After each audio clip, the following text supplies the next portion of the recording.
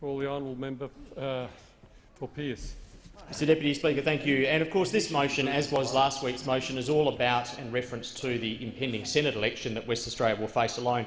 Poor old, poor old WA, I understand that when you win a lottery, not that I ever have had that pleasant experience, but when you do win a lottery you find all of these estranged relatives coming out of the woodwork and being your best mate. And that's pretty much how West Australians feel at the moment, because every conceivable minor party is all of a sudden the best friend of the state, and Labor are having their crack as well. And I will say this for Labor. Yeah, yeah, I will say this for Labor. They are much improved from, from last week's effort to pretend to be the best friend of the state of Western Australia. Last week's motion on WA, they couldn't manage to rustle up a single speaker uh, from Western Australia, and in fact, with all of the speakers they had and all of the time they had, they only managed to mention Western Australia twice. Now, maybe it's just me, but I'm thinking, well, if you are going to pass a, or try and move a motion that pretends you're the best friend of a state before an impending Senate election, you might want to at least find a West Australian or, or absent that, try and mention the state perhaps more than twice. Much improved, um, best, best improved performance on ground. We did actually find a West Australian this week. Unfortunately, she forgot about it and was late turning up for the motion. But nevertheless, a significantly improved effort from last week. And, Mr Deputy Speaker, I wanted to sum up in my brief political experience what I think is emblematic of the attitude of Labor to Western Australia. It goes back to a story in 2011 where I had the great privilege of delivering a budget as State Treasurer for Western Australia, and I increased a tax, or, or as I indicated at the time, I removed a concession that existed on a tax, uh, which is a much more pleasant way of putting it than increasing a tax. And, Mr Speaker, in fact, I will admit that when I was at university I thought all tax was, tax was theft, but I took a slightly different view when I became the Treasurer of Western Australia. It's a necessary part of any economy. This was, a, this was a tax that applied to iron ore royalties, and there was a long-standing 40-year discount that had been offered to a type of iron ore called fines iron ore.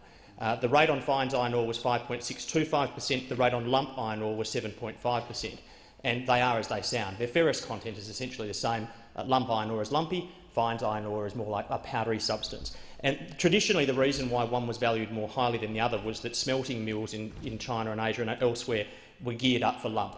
That had changed over a 40-year period and fines was just as valuable, but this discount remained. We removed the discount. We thought we gave uh, Labor proper notice of the fact that that was an impending move. It was a logical common sense move. And removing that discount brought in over the four out years of the budget $2 billion worth of much-needed revenue to the state of Western Australia. And there's much complaint in WA, of course, and I've been a part of that complaint about the distributive system of GST.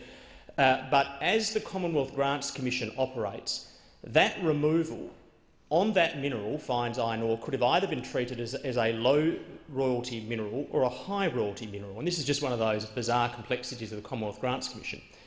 If the removal of the discount were treated on fines as a low royalty mineral, then over the longer sweep past the out years, we probably, that is WA, would have lost in the diminished GST receipts about 60 to 65 per cent of that $2 billion worth of revenue. And that would have been shared with our brethren from the other states and would have built um, hospitals in South Australia and other structures in Tasmania.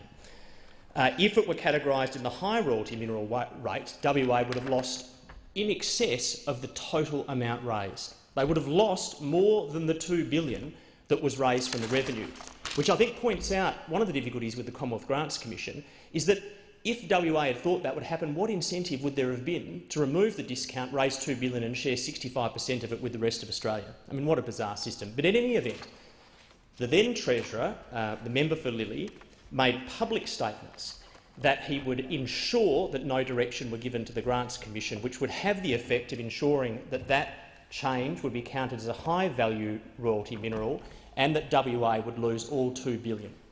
In addition, both the then Prime Minister Julia Gillard and the then uh, Treasurer, the member for Lilley of Federal Labor, indicated that because of the move they would withhold or may withhold uh, hundreds of millions of dollars worth of infrastructure funding that had been earmarked for the state. So the new best friend of uh, the state today, not that long ago, when there was a legitimate increase in royalty rates to earn revenue for both the state and the rest of the nation, threatened to direct that all of those be taken back from the state and that previously earmarked funding to the tune of hundreds of millions of dollars be withheld from the state.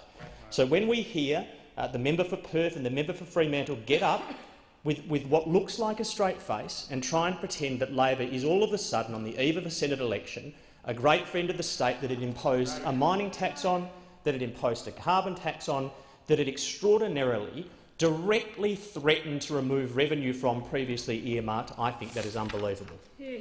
Order.